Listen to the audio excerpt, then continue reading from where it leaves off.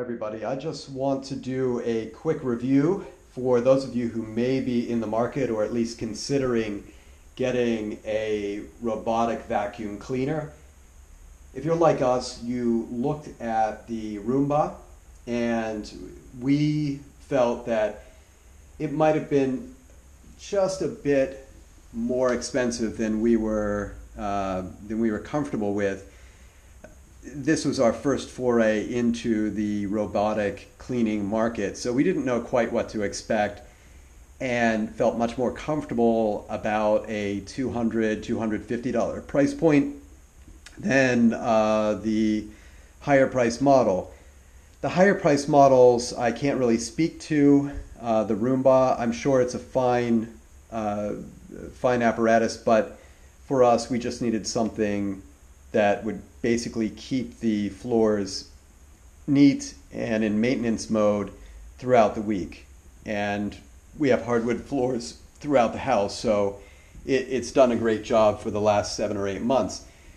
Now, I'll show you, right now it's on its docking station. This is how it recharges.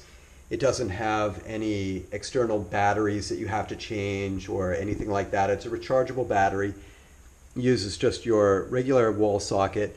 And I believe there's also a port here uh, in the side, I'm not sure if you can see, where you can plug this cord directly in there if you want to, but we don't because what you can do is tell uh, the, the iLife robot to start cleaning 10 minutes after you work and then or after you head out for work it will clean, and then when it senses its battery is low, it will come back to the, the docking station and recharge, which is a, a neat feature. There are a couple different things that I'll show you here. Number one, this is the only area that you really have to deal with. This is where all the debris goes when you vacuum. It's got a little one way flap here, so whatever comes in there uh, doesn't come back out, and it's got a filter in the back, and that's replaceable, but we've not had to replace it. We just knock the dust out, and um, that's been great. all the all the debris, you know, that you sweep up comes in uh, this little port here, and when you are ready to uh, get started, you want to make sure that this is in place. It also comes with a water tank uh, that looks very much like this. It has a port on the top that you can put water in, and then this becomes a mop device rather than a vacuum, which is pretty cool. We've used it once um, because we don't really mop hardwood, uh, but we do have some tile in the house that uh, we've used it on, and it's worked pretty well. But functionally speaking, this is mainly just for sweeping in our house. Now, uh, underneath, you'll see how this works. These two uh, rotors will spin and they will sweep all the debris in its way into this receptacle. This has got some very soft um, uh, rubber here to sort of squeegee all of that stuff and force it in here. And the vacuum, the force of the vacuum comes, uh, you, can, you could feel it really strongly if it was on right now. This little swivel caster allows it to pivot. These are the main wheels. They're pretty chunky, they're rubberized, and they've got tracks on them, so they're sturdy and durable. This is uh, a Velcro uh, strip, but uh, this is a piece of, I think, just cotton or terry cloth that sticks on.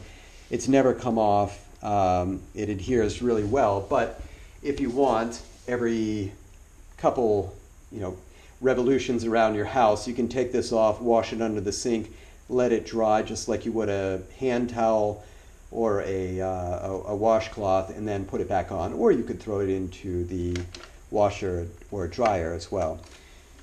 Okay, so um, that's pretty much it. It's ready to go. And I'm going to give you a little example of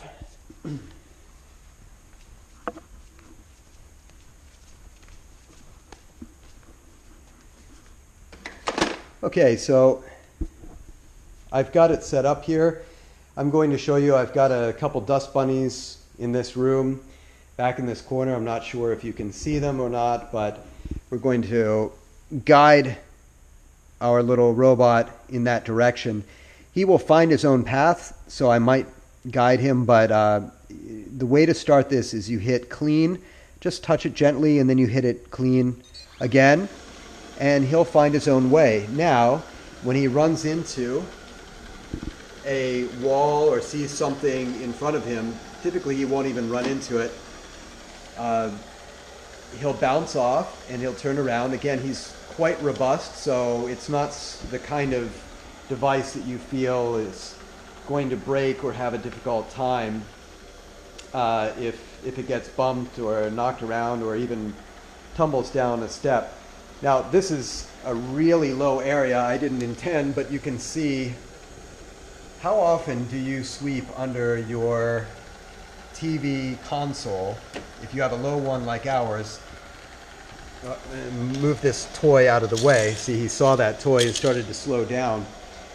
But I mean, it's a fantastic device. It does everything that we need it to, and it's at a very reasonable price point of you know 200 to 250 dollars. Um, and and we love it. We love it. So i'm just going to shut him down right now and he's coming back home. And thank you for watching my review of the iLife robotic vacuum cleaner